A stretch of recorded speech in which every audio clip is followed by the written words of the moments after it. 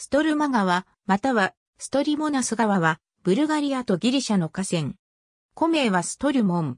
ブルガリアのビトシャ山地にその源を発し、はじめ、西へ流れてから南に向きを変える。クラムラからギリシャ領に入り、アンフィポリス近郊でエーゲ海のシトリモニアン湾に注ぐ。総延長は 415km で、流域面積は1800平方キロに及ぶ。ブルガリア側では石炭が取れ、ギリシャ側では農業が盛んである。ギリシャ側の渓谷は国内第4の規模を誇る。主な支流にリラ川、コンスカ川、アギティス川などがある。サウスシェドランド諸島リビングストン島のストルマ氷河は、この川にちなみ名付けられた。ブルガリア側の流域図この川は、古くからギリシャ人に知られており、すでにヘシオドスの新陶器で家臣の一人として述べられている。古代ギリシャ時代の紀元前437年、アンフィポリスの町が川口近くのエリアオドイに建てられた。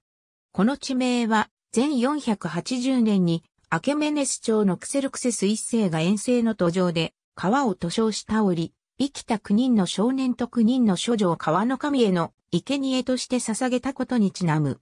この翌年にマケドニア王アレクサンドロス一世がエネアを踊いでクセルクセスの残党を撃破した。前424年にはスパルタのブラシダス将軍がアンフィポリスを包囲、攻略し、ギリシャ半島に向かって進軍していった。1014年にはベラシツァ山地の歌詞でクレーディオンの戦いが交わされた。第二次バルカン戦争中の1913年には、ギリシャ軍がクレスナ渓谷で危うく包囲されかけた。ブルガリアは、この戦争で勝利したものの、ブカレスト条約で戦略的な要衝を失った。第一次世界大戦では、マケドニア戦線の一部を成した。第二次世界大戦では川にちなんでストルマと名付けられた船がルーマニアからパレスチナへユダヤ難民を移送していたが、国海で沈没し768名が犠牲になった。